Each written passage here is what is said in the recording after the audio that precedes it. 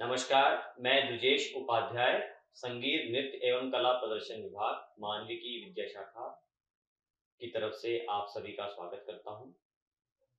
जितने भी हमारे संगीत के छात्र हैं, उनमें जो तबले के विद्यार्थी हैं, या हम कहें कि संगीत के संपूर्ण विद्यार्थी जो भी हैं हमारे, वो चाहे स्नातक स्तर पे हों, चाहे स्नातकोत्तर स्तर पे उनके लिए हम एक बहुत ही महत्वपूर्ण विषय लेकर आए हैं जिस पर आज हम आपको कुछ जानकारियाँ देंगे। वो है भातखंडे ताल लिपि पद्धति। जैसा कि आप जानते हैं कि ताल लिपि पद्धति के बारे में कि जो ताल लिपि पद्धति है वो आ, उस वो क्या होती है और उसका क्या महत्व है? ताल लिपि पद्धति मुख्यतः जो भारतीय शास्त्रीय संगीत है हमारा, उसमें जो हमारे ताल हैं और उसमें जो बजने वाली हमारी रचनाएँ हैं, उनको लिपिबद्ध करने के लिए जिस भी एक प्रोसेस एक जो पद्धति बनाई गई है, उसको हम ताल लिपि पद्धति कहते हैं।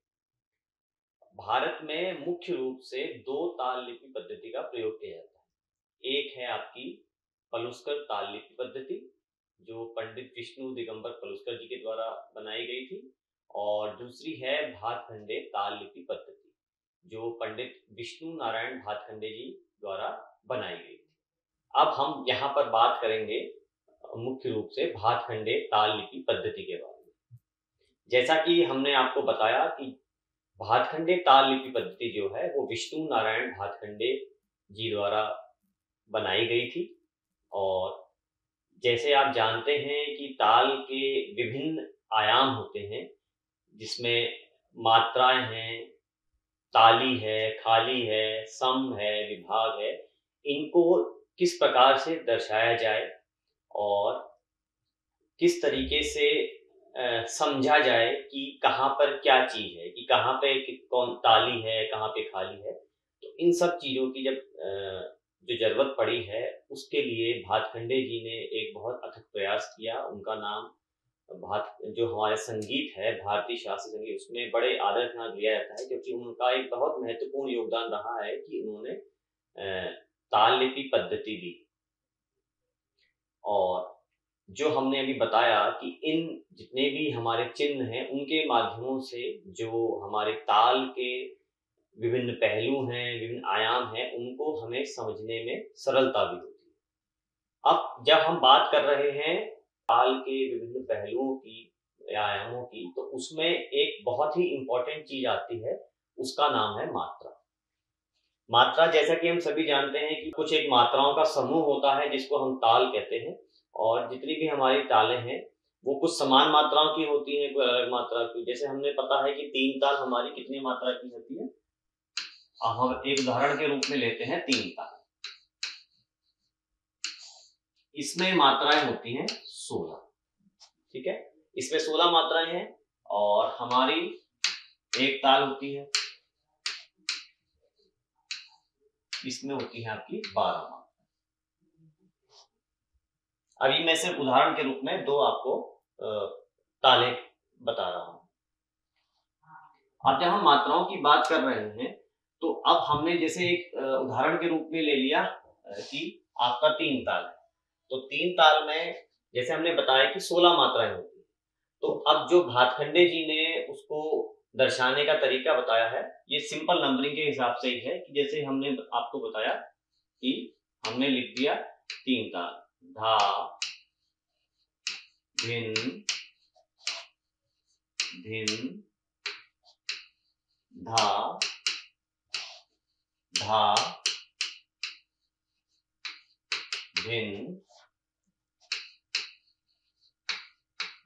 भिन भिन धा धा भिन भिन ता ता भिन भिन इस प्रकार से आप ये देख रहे हैं कि ये सोलह मात्रा है।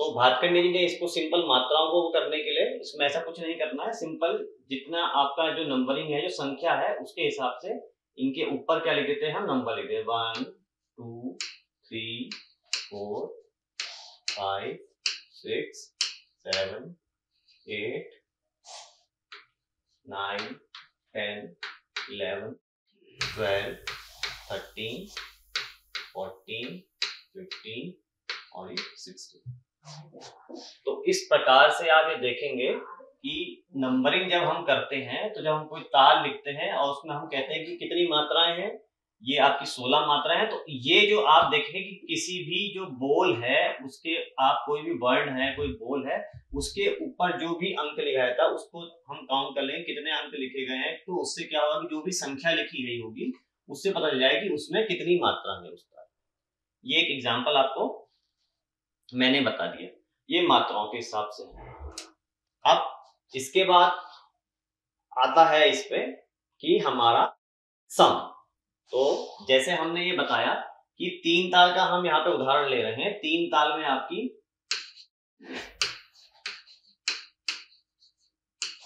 सोलह मात्रा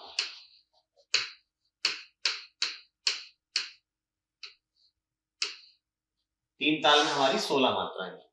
ये मात्राओं को हमने बता दिया कि जब भी हम कोई बोल लिखेंगे या उसके जो जितने भी ताल में जितने आपके मात्राओं के हिसाब से जो बोल बजाए जाते हैं, वो लिखेंगे और उनके ऊपर जितने भी हम संख्या लिखेंगे, उसकी कुल संख्या या उसकी मात्राएँ कहलाएँगी। दूसरा इंपॉर्टेंट जो चीज़ है इसमें, जो उसका पहलू है, वो है सम। सम आप जैसे सभी जानते हैं कि सम का अर्थ होता है ताल की हमेशा जो प्रथम मात्रा होती है, ताल जहाँ से प्रारंभ की जाती है, उसको हम सम कहते हैं। अब जब हम तीन ताल की हम बात करते हैं तो वहाँ पे हमने आपको बताया कि ये पहली मात्रा आपकी आ गई है। इसके ऊपर संख्या के हिसाब से हमने ये लिख दिया। और इसमें एक इंपॉर्टेंट चीज़ होती है कि इसके जो चिन्ह का प्रयोग किया जाता है, वो क्या जाता है क्रॉस तो कहीं भी आप देखें कि अगर इस तरीके का एक चिन्ह आपको दिखेगा तो भातखंडे ताल लिपि की पद्धति के अनुसार इसका अर्थ होता है कि ये ताल का प्रारंभ है, ताल की पहली मात्रा है और यहाँ पे इसका सम। संगीत में सम बहुत ही महत्वपूर्ण होता है, जैसे कि आप सभी जानते हैं। तो हमने इसमें क्या सीखा कि आपका जब हम सम की बात करेंगे तो वहाँ पर किस चिन्ह का प्रयोग किया जाएगा? तो ये हमेशा आपका पहली मात्रा पे होगा। ताल में सोलह मात्रा है, बारह मात्रा है, दस मात्रा है, लेकिन जब भी आपकी हम बात करेंगे कि सम की बात होगी तो हमेशा कौन सी उस पर होगा? पहली मात्रा पर। पहली मात्रा किसकी? ताल सम को हम इससे एक्स से डिनोट करेंगे, और ये हमेशा किस, कौन सी मात्रा पे होगा? पहली मात्रा इसके बाद जो हमारा दूसरा जो चीज़ आती है वो है ताली। अब जैसे हमने बात करी ताली की, ताली जैसा आप जानते हैं कि सम तथा अन्य जितने भी विभाग हैं उसके, उसकी प्रथम मात्रा पर, जहाँ पर खाली ना हो, उसके थे जहाँ पर भी हम उसको क्या कहेंगे कि हाथ से आघात कर हम उसको दर्शाते हैं, इस तरीके से उसको हम कहते हैं ताली। ये एक बहुत ही महत्वपूर्ण चीज़ है। आप इसको डिनोट कैसे करते हैं? इनको हम एक ताल में कितनी कितनी तालियाँ हैं? ठीक है? जितनी भी तालियाँ होती हैं, उसके हिसाब से हम इसको डिनोट करते हैं। अब इसको कैसे डिनोट करेंगे? अगर हम ये कहते हैं कि जैसे हम तीन ताल का एग्जांपल लेते हैं, यहाँ पे उदाहरण लेते हैं। तीन ताल में एक, पाँच और तेरह पर ताली होती है।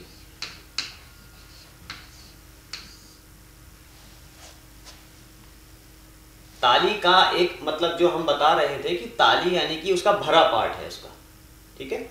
और तीन ताल में एक, पाँच व तेरह पे हमारी ताली है। अब ये ताली को हम डिनोट कैसे कर रहे हैं? जैसे हम कह रहे हैं एक, पाँच, तेरह। तो जैसे हमने आपको ये बताया कि तीन ताल के रूप में अगर हम इसको ले रहे हैं, हमने लिखा धा भिन भिन धा धा भिन धा धा तिन तिन ता ता भिन धा। इस प्रकार से हमने ये तीन ताल लिख दी है। इसमें हमने जैसे मात्राओं का ये बताया तो एक, दो, तीन, चार, पाँच, छ, सात, आठ, नौ, दस, ग्यारह, बारह, तेरह, चौदह, पंद्रह और सोलह। तो जब हम ताली की बात कर रहे हैं तो भातखंडे जी ने ताली के लिए मात्रा संख्या को हमने डिनोट किया है कि जैसे हमने इसमें ये कहा कि तीन ताल में ये होता है कि कहाँ कहाँ पे ताली होती है, एक, पाँच और तेरह मात्रा पे। तो अब एक मात्रा क्या है? एक मात्रा है सम। तो सम को हम कैसे डिनोट करते हैं, हमने बताया, इसको हम क्रॉस से डिनोट करते हैं। तो ये तो क्रॉस आ गया।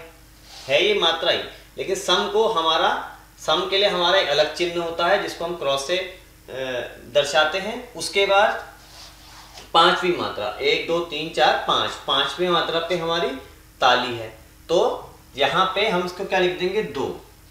ये एक, पाँच, तेरह का मतलब है कि हमारे पास तीन ताली है। तीन ताली ठीक है? तो एक पे हो गई और फिर पाँच पे हो गई, फिर तेरह पे। तेरह नंबर यहाँ पे आ गया। तो एक, दो और तीन। तो यहाँ पर जब हम ताली की बात करते हैं तो ताली में सम को छोड़ सम को भी एक मान लेते हैं तो लेकिन इसको चिन्ह क्या है हमारे यहाँ? हम इसको ऐसे क्रॉस से दर, दर्शाते हैं और उसके बाद जो भी जितनी भी टोटल तालियाँ होंगी उनमें हम उसको ऐसे लगा देंगे कि मात्रा संख्या के हिसाब से। कितनी उसकी? कौन सी मात्रा पे आ रही है और उसकी ताली संख्या के हिसाब से। कि जैसे तीन ताल में हमारी तीन तालियाँ हैं तो पहली हमारी सम पे हो गई फिर उसके बाद ताली आई पांचवी मात्रा पे तो हमें दूसरी ताली है ताली संख्या देखेंगे दूसरी उसके बाद तेरह मात्रा पे हमारी ताली है तो यहाँ पर हम इसको तीन लिख देंगे। कुल तीन तालियाँ होगी पहले पे सम आ गया दूसरे पे पांचवी मात्रा पे दूसरी ताली है तो उसको हम ताली संख्या हमारी दूसरी ता, ताली संख्या दूसरी आ गई और तेरह मात्रा पे है तो यहाँ पे तीसरी आ गई।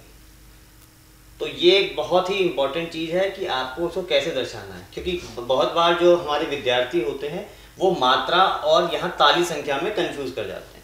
तो हमेशा जब भी आप देखेंगे कि जो ऊपर लिखा होगा किसी भी बोल के, वो उसकी टोटल जो आपकी मात्रा है, उसको दर्शाएगा।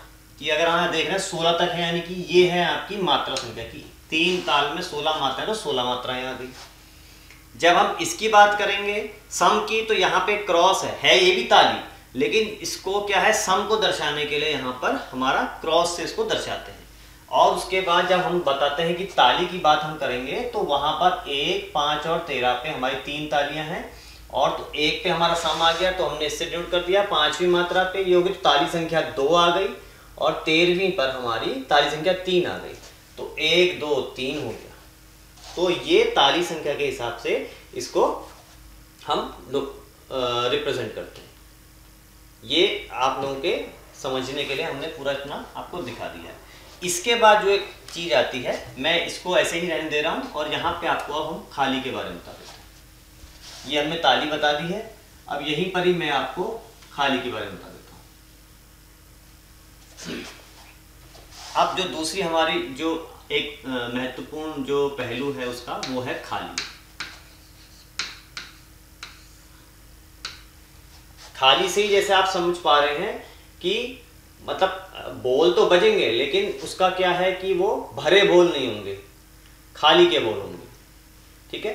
तो इसलिए उसको जहाँ पे मतलब हम ताली, जब हम पढ़ंत करते हैं तो सम पर भी हम ताली बजाते हैं, इस तरह डिनोट करते हैं, धा, धिन धिन, धा धा, धिन धिन, धा। और जब खाली की बात करते हैं तो हम हाथ को एक तरफ़ को झुका देते हैं, या एक तरफ़ को उठा के से झुका देते हैं। हम उसको ताली नहीं मारते हैं। तो जो परंपराएँ हमारी बनी है संगीत में, इस भातखंडे ताली की पद्धति के माध्यम से, कि पढ़ंत हमारी इस तरीके से होगी, उसको कैसे दर्शाया जाएगा तो ये हम बता रहे हैं कि इसमें खाली अब जैसे हमने जो उदाहरण लिया है, वो तीन ताल का लिया है। तीन ताल में हमारी कितनी मात्रा होगी? सोलह मात्राएँ होगी। अब तीन ताल में खाली कौन सी मात्रा पे आती है? नवी मात्रा।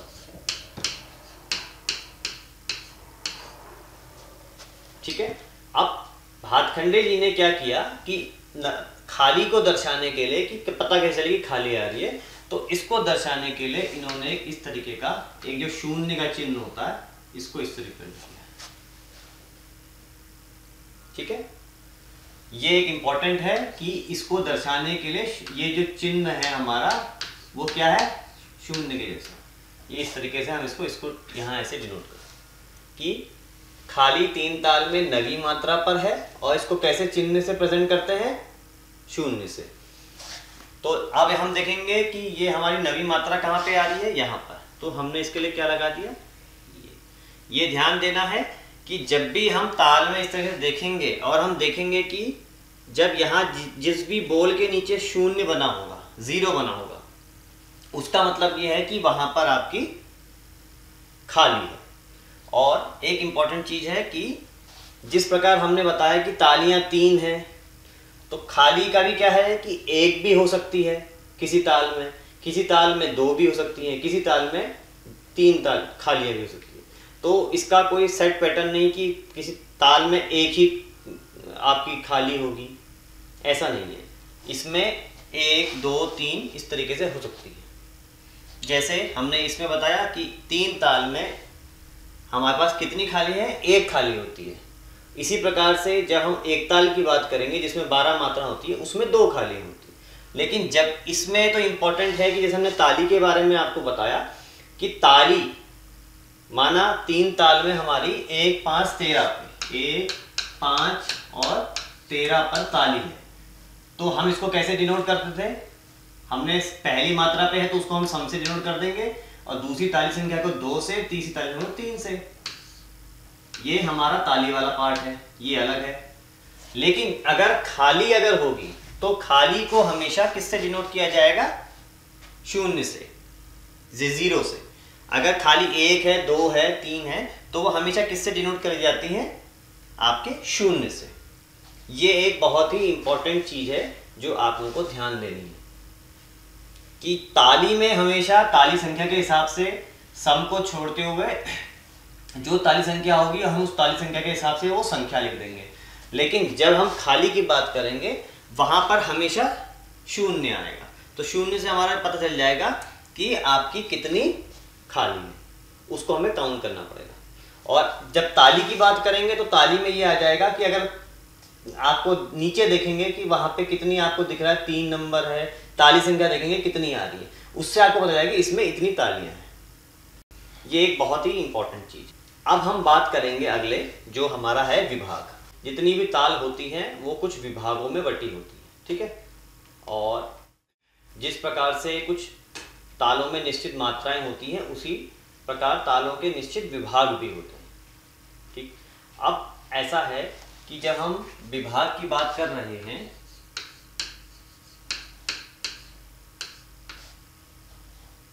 और हम तीन ताल का उदाहरण ले रहे हैं तो इस पर, इसमें क्या है कि इसके चार विभाग होते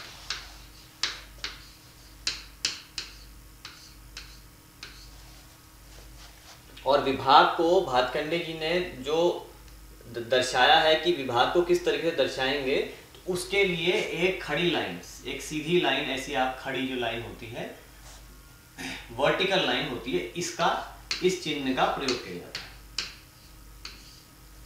ये एक सीधी लाइन ऐसे वर्टिकल लाइन जो होती है। अब देखिए कि और जो हम तीन ताल का उदाहरण ले रहे हैं, इसमें क्या होता है कि ये ऐसी ताल है कि इसमें हर, ये चार चार मात्रा के इसके विभाग बनते हैं। तो आप देखिए यहाँ से हम क्या करेंगे? हम इसका प्रयोग कैसे करेंगे? इसको कहाँ पे लगाया जाता है? जो याला चिन्ह है हमारा विभाग का, कि चार मात्रा, एक, दो, तीन, चार। उसके बाद ये खड़ी जो रेखा होती है, उसको ऐसे खींच जाता है। फिर उसके बाद एक, दो, तीन, चार, क्योंकि इसमें चार चार के विभाग बनते हैं, फिर एक खड़ी लाइन आ जाएगी। तो एक, दो, तीन, चार और एक, दो, तीन, चार। ये विभाग कर देंगे और अंत में अभी ये इसकी स्पेस नहीं है तो यहाँ पे हम इसको धा लिख देंगे और इसको यहाँ पे हम फिर ये सम है ये आपका इससे नोट कर देता है। इस तरीके से तीन ताल को दर्शाया जाता है। धा धिन धिन धा धा धिन धिन धा धा तिन तिन ता ता धिन धिन धा। तो जब आप सम, ये आप समझ जाएगा कि जहाँ पर भी खड़ी लाइन शब्दों के बीच में बोलों के बीच में इसमें जब आ रही होगी तो ये है विभाग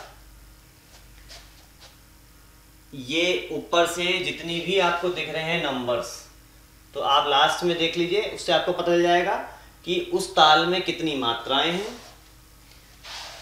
सम के लिए आपको ये देखना होगा कि जहाँ पर भी ऐसा क्रॉस बना होगा, वो हमेशा पहली जो मात्रा होती है, वहीं पर ये क्रॉस बना होगा। तो यानी कि ताल का प्रारंभ है, ताल की पहली मात्रा पर सम होता है। और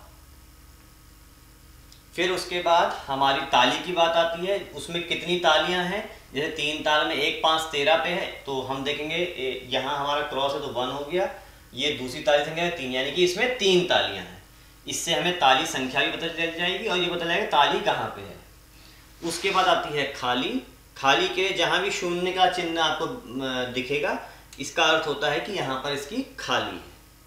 एक इंपॉर्टेंट चीज़ आपको ये भी बतानी है कि जैसे हम कहते हैं कि सम जो ताल की पहली मात्रा होती है वो हमेशा आ, सम होती है और वहाँ पे ताली होती है लेकिन रूपक एक ऐसा ताल है रूपक ताल कि कुछ विद्वानों का मत है कि यहाँ पर जो होती है अब ये हमने देख लिया है पूरा मैं आपको रूपक का बता देता हूँ। ये हमारा रूपक ताल है। रूपक ताल में अब हम जैसे हम कोई ताल लिखेंगे तो हम कैसे लिखेंगे? ये। मात्रा सात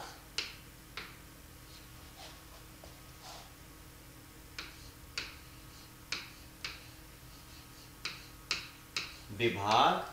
अभी हम इसको छोड़ रहे हैं, इसको बताएँगे। फिर ताली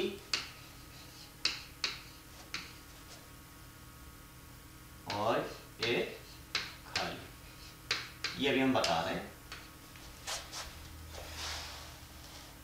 तो रूपक ताल क्या है? ती। ती। ना। भी। ना। भी। ना। देखिए तो ये हमने लिख दिया रूपक ताल। अब रूपक ताल में हमने, जैसे पहले तीन ताल के उदाहरण के रूप में बताया, वैसे ही आप इसमें समझिए कि ये पहली मात्रा, ये दूसरी मात्रा, ये तीसरी मात्रा, ये चौथी मात्रा, ये पांचवी मात्रा, ये छठी मात्रा, ये सातवीं मात्रा। ठीक है? अब इसमें क्या है कि ये हमारी कितनी हो गई? मात्रा अब जो हमारी परंपरा रही है कि उसके हिसाब से सम हमेशा कहाँ पर होता है? यहाँ पर। पहली मात्रा पर लेकिन यहाँ रूपक ताल में कुछ विद्वानों का ये है कि इस, ये इसको हम खाली से रिप्रेजेंट करते हैं। ठीक है? इसमें और विभाग कैसे होते हैं इसमें? तीन विभाग होते हैं। वो कैसे होते हैं? तीन, दो दो के। एक, दो, तीन विभाग के लिए हमें कैसा है कि आपको एक रेखा खींच देनी है, फिर उसके बाद एक रेखा यहाँ। और ये अंतिम में एक रेखा यहाँ खींच के फिर से यहाँ पर हम ती लिख देते हैं और यहाँ शून्य लगा देते ये यानी कि सात मात्रा के बाद फिर से ये इसका दोबारा दूसरा आवर्तन जो शुरू होगा वो यहाँ पर हो जाएगा। इसलिए ये लगाया लेकिन त्रिरूपक यहीं तक है। ये सात मात्रा यहाँ से दू, दूसरा इसका आवर्तन शुरू हो जाएगा। तो अब ये है आपकी ठीक है? अब यहाँ पे इस हिसाब से खाली एक ही है इसमें। तो यहाँ खाली कितनी हो गई? एक। और एक कौन सी मात्रा पे है? पहली मात्रा। और इसके बाद एक, दो। ये आगे आपका दो ताली है। और कौन कौन सी मात्रा पे है? देखिए चौथी और छठी मात्रा। चौथी और छठी मात्रा पे। और जो खाली है, ये एक एक है, वो भी कौन सी मात्रा पे है? ये पहली मात्रा। तो इस तरीके से रूपक ताल को प्रेजेंट करते हैं। और जब हम पढ़ंत की बात करेंगे तो हम कैसे पढ़ेंगे? ती ती, ना, धी ना धी, ना, ती ती, ना, धी ना धी, ना। तो इस प्रकार से हमने आज क्या सीखा? भातखंडे ताल लिपि पद्धति। की ताल को दर्शाने के लिए हमें जो भातखंडे जी ने चिन्ह बताए हैं, वो क्या क्या हैं? ये आप समझ लीजिए दोबारा से। एक है मात्रा, जो हमेशा ताल के जो बोल है, उनके ऊपर लिखी जाएगी। जो भी मात्रा होगी, उसको हम टोटल उसकी संख्या लिख देंगे।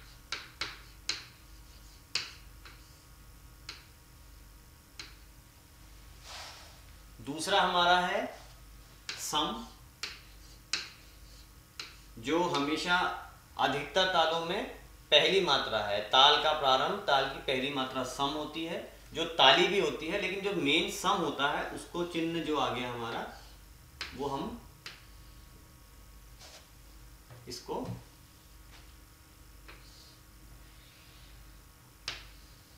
इससे ये चिन्ह है। फिर है ताली।